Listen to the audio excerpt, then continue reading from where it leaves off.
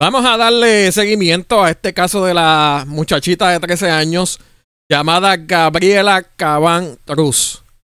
Bueno, mire, la mamá habló en Telenoticias en la tarde de hoy. Le voy a pasar esa entrevista completa que le hizo Diana Eris Calderón a la mamá de esta niña de 13 años. Pero vamos primero a ver lo que dice el periódico El Vocero. Vamos a ver por aquí. Mire por aquí. El convicto que estaba con menor, eh, que llegó, ya usted ve, a un CDT, colabora con la investigación. Este hombre dice aquí que después de haber cumplido cárcel por un caso de narcótico, el individuo se alejó del vicio y se encuentra trabajando. Eso es lo que dice aquí el vocero. Dice el individuo de 27 años que el viernes llevó sin, ya usted ve, al CDT de San Sebastián, a la adolescente Gabriela Cabán Cruz, ha estado colaborando ampliamente en la investigación que apunta a que la jovencita de 13 años de edad llevaba tiempo utilizando pues narcóticos como eh, la coca, por lo que se espera que el Instituto de Ciencias Forenses confirme o no en los próximos días y esa fue la causa pues de deceso. El individuo conoció a la adolescente en el, en el residencial Las Muñecas en Aguadilla, el lugar al que acude con frecuencia para ver a sus hijos. Aparentemente después de haber cumplido cárcel por un caso de, ya usted sabe que el individuo se alejó del vicio y se encuentra trabajando. Al conocer a Gabriela, creía que tenía 18 años de edad según las versiones dadas por personas alegadas, allegadas, perdón, a la investigación en la que concurren agencias estatales y federales. Sin embargo, las fuentes apuntan a que la madre de la menor, quien ha tenido problemas de la justicia y supuestamente con también droga, ha sido poco cooperadora y la investigación apunta a un posible, eh, ya usted ve, maltrato de la jovencita. Los investigadores han ido corroborando información dada por el amigo de la muchachita en declaraciones escritas. El negociado de la policía indicó que conduce la pesquisa tras el deceso de la joven. La investigación está a cargo de tres divisiones de la policía de Puerto Rico. Esa es la versión de este muchacho. Aquí pues dice que la madre de la menor ha sido poco cooperadora con las autoridades. También dice por acá que él, él alega que creía que esta muchachita tenía 18 años de edad por las versiones dadas por personas allegadas a la investigación. O sea que hay más de una persona diciendo que esta muchacha decía que tenía 18 años. Ahora vamos a ver el reportaje de Telenoticias para ver qué fue lo que dice la mamá. Así que vamos a ver ese reportaje. Era, tiene 13 años, pero con una mentalidad de mujer. ¿Usaba drogas? No, no. ¿Fumaba? Si fumaba, yo no tenía conocimiento sobre eso. Cuando dices que hacía cosas de mujer, ¿a qué? ¿A qué te refieres entonces? ¿Tenía relaciones? Seguro que sí, salía a alta hora de la noche sin mi consentimiento. Según Cruz, su hija acostumbraba a escaparse como un acto de rebeldía, pero siempre regresaba a su hogar. Esta vez no sucedió así. Se escapó, se fue, se fue sin mi consentimiento con el tal fulano. Cruz se refiere a Brian Pérez Hernández, de 27 años de edad, un joven con expediente criminal por sustancias controladas, quien asegura a su hija le presentó como un amigo, pero a quien señala como principal responsable de lo sucedido. Y quiso brincar la etapa.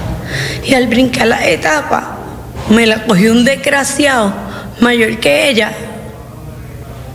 ¿Y dónde apareció?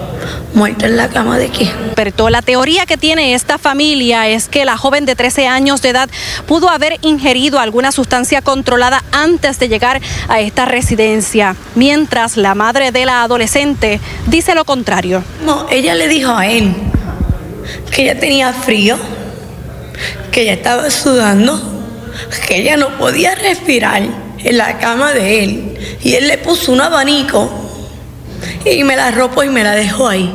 Cruz asegura que su hija no era usuaria de a pesar de que varios videos en su cuenta de Facebook aparentan mostrar lo contrario. Eso no es un, un feeling. Son lo que es como. Tú sabes que venden la nicotina suelta. Que tú de esto. Pues eso es como si fuera un cigarrillo, pero un marihuana. ¿Ella fumaba entonces cigarrillo? Ese tipo de cigarrillo. Exacto, y los Piper. Nada más. Ok, vamos a analizar esto que dijo esta mujer, la madre de esta niña. Ya usted sabe que eh, la madre pues también tiene expediente por el uso de estupefacientes. A mí no me gusta hablar de estas cosas, pero vamos al mambo. Mire, esta mujer se contradice en esa entrevista. Le voy a decir el por qué. Pero vamos a analizar desde el principio. Ok, aquí está, vamos. Era. Tiene 13 años, pero con una mentalidad de mujer. Ok, primero que nada. Fíjate lo que dice esta mujer. Que ella tenía 13 años, pero tenía que mentalidad de mujer. Mire, a los 13 años, usted no se sabe limpiar el culo. ¿Qué va a tener una niña de 13 años una mentalidad de un adulto? Usted sabe que los adultos tienen en la mente, tenemos 20 mil cosas. Que pudo haber madurado eh, antes, puede ser, por las circunstancias parece, y la vida que se dio la mala vida, porque es así. La muchachita se dio una mala vida. Y mire, a los 13 años, pues resultó que ya no tiene vida, lamentablemente. Estamos escuchando a esta mujer. ¿Estaba drogas? No. Dice que no, que no usaba, droga. No. No. Ok, ok, no. Ok. Ella lo dice. ¿Fumaba? Si fumaba, yo no tenía conocimiento sobre eso. Mira eso, qué embustera. Ahí está la mentira que dice. Escuche. Cuando le preguntan, ¿fumaba? Si fumaba, yo no tenía conocimiento sobre eso. Cuando Ahí está. Iba a decir como que sí. Y dice, si fumaba, yo no tenía conocimiento. Y después vamos a ver que dice lo contrario. Para que vea, cayó en su misma mentira.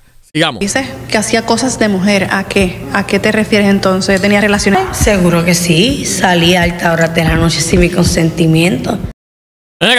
Salía a altas horas de la noche sin mi consentimiento. Puede ser. Puede ser. Digamos. Según Cruz, su hija acostumbraba a escaparse como un acto de rebeldía, pero siempre regresaba a su hogar.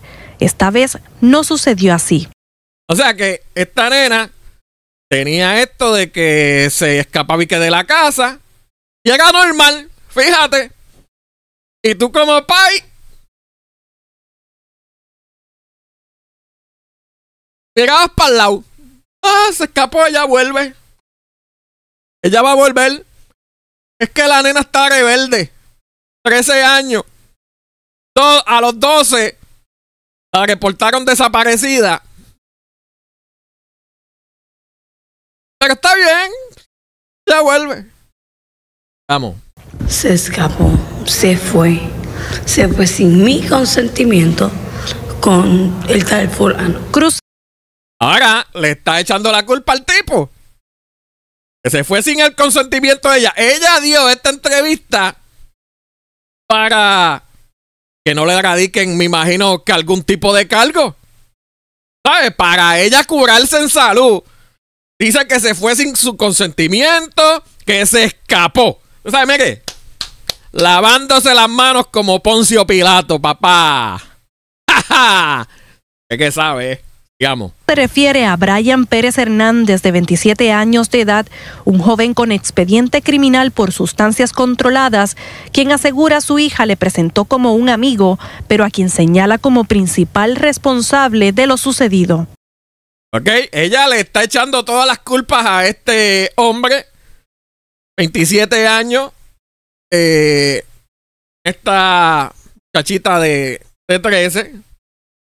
Ya usted ve que él alega que ella le dijo que tenía 18 años y hay allegados que dicen lo mismo. ¿Ok? Vamos. Y quiso brincar las etapas. Y al brincar las etapas, me la cogió un desgraciado mayor que ella. Ok, ahí está. Le quiere echar todas las culpas al tipo. No puede tener culpa. ¿ah? Eh, pero ya las autoridades dicen que que están verificando y todo lo que ha dicho el tipo es verdad. Entonces ella dice, brincar las etapas. Y quería brincar las etapas, mire. Pedazo de irresponsable. Es que yo no puedo decir algo. Ah, puedo decir otras cosas, pero. Pedazo de irresponsable. Tú lo que haces es sacando el culito para que la policía no te radique cargos a ti. Otra cosa, el departamento de la familia, eso, mire, lo que da es pena también en este caso. Digamos. ¿Y dónde apareció? Muerta en la cama de quién. Pero la teoría que tiene esta familia Esa es la teoría de la familia del individuo. es que la joven de 13 años de edad pudo haber ingerido alguna sustancia controlada antes de llegar a esta residencia, mientras la madre de la adolescente dice lo contrario. No, ella le dijo a él que ella tenía frío, que ella estaba sudando, que ella no podía respirar en la cama de él. Y él le puso un abanico y me la arropó y me la dejó ahí. Ok. La familia del muchacho dice que la nena y que usaba. eh, ya usted sabe. Y pues el tipo, él dice que estique limpio. Eso, eh, yo no sé si le van a hacer algún tipo de, de prueba de toxicología en la sangre. A ver si verdaderamente este hombre está limpio. Que a mi cara no me tiene. De que sea una persona que no usa nada legal. Eh, entonces, si esa familia sabía, esta muchacha también utilizaba pues sustancia, porque entonces dejó que esa relación siguiera con el hijo, que el hijo era un usuario de sustancia. Aquí estas familias lo que tienen es un, un escojón que no se sabe ni la hora que es. Todos son unos irresponsables. Departamento de la familia, la MAI, la familia, el tipo, todo el mundo aquí. Aquí nadie, nadie tiene, eh, tiene no culpa. Vamos a decir, todos tienen culpa, todos son culpables aquí. Cruz asegura que su hija no era usuaria de droga, a pesar de que varios videos en su cuenta de Facebook aparentan mostrar lo contrario. Mira eso. Una niña de 13 años. Ese video salió en las redes sociales de esa niña. Eh, la que ven ahí al lado derecho con la camisa negra. Eso es la Mai. La Mai. Ahí está la nena. Mire cómo se, se vestía esa niña. Y los gestos eh, ya usted sabe, como que sugestivos. Entonces, para mí que lo que está al lado también es otra niña. Porque a mí no me parece que eso sea una persona de adulta. Poco. Esto es, señoras y señores, esto es, esto lo que da es vergüenza ajena. Eso es lo que da este caso. Vergüenza ajena. Aquí los deberían de coger y encerrarlos a todos. A toito. Usted perdone.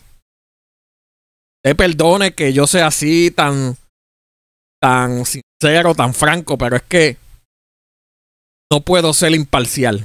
Porque lo que se ve, como se dice, no se pregunta. Digamos. Eso no es un, un feeling. Son lo que es como.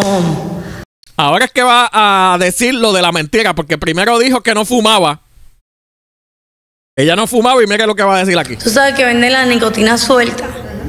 Que tú de esto, pues eso es como si fuera un cigarrillo, pero un marihuana. Ella fumaba entonces cigarrillo, ese tipo de cigarrillo. Exacto, y los Piper. Ahí está. Cayó en la mentira. Ahí está lo mentirosa que es esta mujer. Ahí está. Primero dice, no, ya no fuma, no, sí, ella fumaba cigarrillos y Viper. El Viper es este, eh, los cigarrillos estos electrónicos que usted fuma que hacen hasta más daño que, los que los mismos cigarrillos este, normales. Ahí está. Ahí está. A la verdad, eh, está del cara, ¿sabes? Está del carajo. Este caso. Ay, dando entrevistas, sacando el culito. Entonces el otro dice que no, que ella lo engañó, tenía 18 años. Y esto, ayer, desde que salió la noticia, a esta nena no le, no le encontraron este, signos de violencia ni nada así por el estilo. Yo rápido dije, esto fue que se metió una sobredosis. Una sobredosis. Porque una niña de 13 años que se supone, ¿verdad? Que tenga eh, su vitalidad buenísima. Que como que se muera durmiendo, algo así. Bien, como que muy improbable, ¿verdad? A menos que tengan alguna condición, qué sé yo, ¿verdad? Pero mire, usted perdone y he sido muy franco en este video, pero es que tenía que sacármelo del pecho. Nos vemos en el próximo video.